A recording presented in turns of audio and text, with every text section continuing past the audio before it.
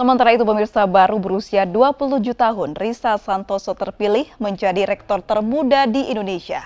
Lulusan University of California, California Berkeley, Amerika Serikat itu pernah bekerja sebagai tenaga ahli muda di kantor staf presiden. Inilah Risa Santoso yang kini menjabat sebagai Rektor Institut Teknologi dan Bisnis Kota Malang, Jawa Timur.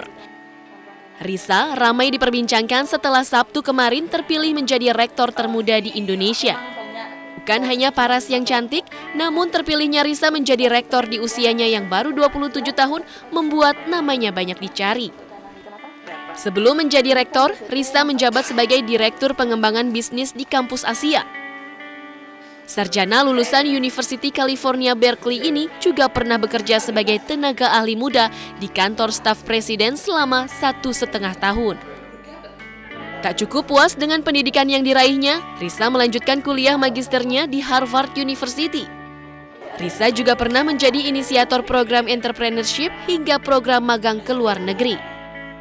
Segudang prestasi yang diraih Risa diharapkan dapat menciptakan terobosan baru khas anak muda tanggapan saya mengenai ekspektasi itu.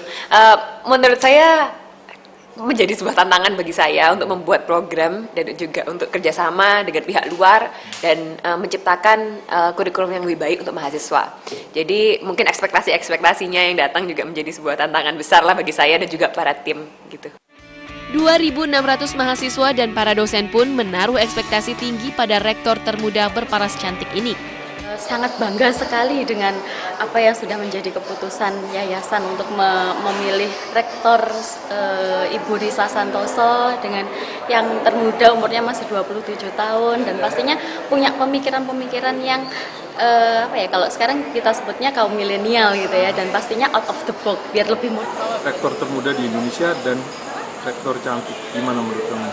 Uh, kalau saya sih menurut saya uh, rektor termuda di Indonesia itu membuat uh, kayak seluruh siswanya itu uh, memotivasi untuk apa masuk ke kampus ini. Harapan tinggi telah disematkan pada Risa Santoso.